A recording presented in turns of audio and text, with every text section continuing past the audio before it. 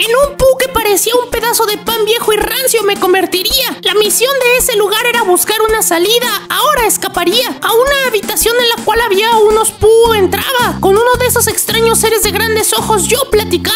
Una habitación de color morado, algunas camas con pu tendría. Al final un pu se encontraba atrapado en una jaula. Lo liberaría. Al parecer el pu que estaba dentro de la jaula no se quería mover. No lo podría obligar, pero yo sería quien iba a correr a una llena de pequeños pu llegué y a todos miraría. Realmente el olor era delicioso, pero tenía miedo si eso comería. La comida se veía completamente deliciosa, pero una trampa pudo ser. Mejor de allí me retiraba y solamente la iba a oler. Entre unos bloques para evitar la lava con cuidado brincaría, pero al final por un pequeño error de cálculo en la lava terminaría. Aparecí nuevamente en el lugar inicial y Pu gigante se acercaba. Como no corría tan rápido como pensé, la enorme criatura me aplastaba.